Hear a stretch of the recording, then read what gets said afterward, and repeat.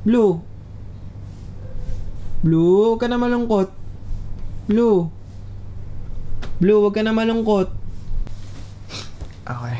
Um, hey guys, what's up? So today po, uh, yeah. So first of all, I have this dog. His name is Blue. And tatlo sila magkakapatid. Um, he has a brother and a sister. Si, si Blue, yung aso namin, yung husky namin, siya yung bunso. Si And yun, may dalaw siyang kapatid, si Luna yung babae and si Oliver yung lalaking kuya niya.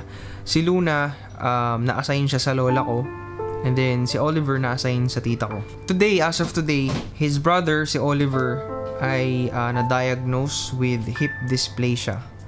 So with that, um, kailangan niya mag-undergo ng femoral head osteotomy. It's, I think it's a kind of hip surgery na kailangan ni undergo ng dog kapag hindi na makalakad. Kasi right now si Oliver hindi na siya makalakad as in. So literal na kailangan niyang operahan. And it would take almost 28,000 ito po yung nakalagay sa bill. I mean yung, yung diagnosis niya nakalagay 28,000 plus 2,500 for physical therapy and another 2,000 for the succeeding day. And right now I'm asking wholeheartedly for your help. Any amount would do. Um, nakalink yung Gcash ko sa baba and then i-update ko kayo sa kung ano mangyari. Kung makakalap man tayo ng 28,000, maganda yun. Mas, mas mag, maganda dahil matutulungan natin yung si Oliver. Si Oliver na na-assign sa tita ko.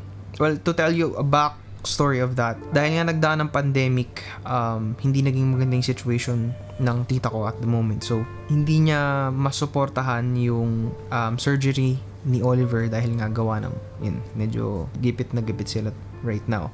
Ang option nila is either ibigay si Oliver somewhere sa sa shelter which is really heartbreaking dahil mahal na mahal ng tita ko yun si Oliver. Pero yun nga, it's either matulungan natin sila na makapag-raise tayo ng 28,000 or yun, mabibigay sa shelter si Oliver. Um, I think, ayun, the better way to do this is let's raise the money and kung yun, maka-raise tayo ng 28,000, I know a lot of people are willing to help I have 50,000 subscribers and hindi naman malabo na isa sa inyo hindi tumulong, you know.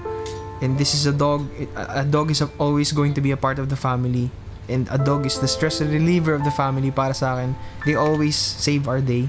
And it's one thing to, you know, I think help them or save them in return.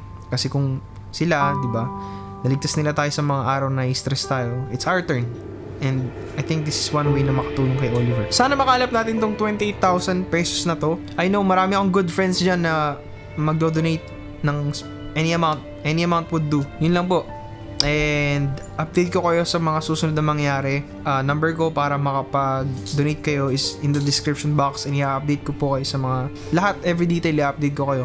Yun, yun lang po. Ingat po kayo and God bless. Ito po si Blue.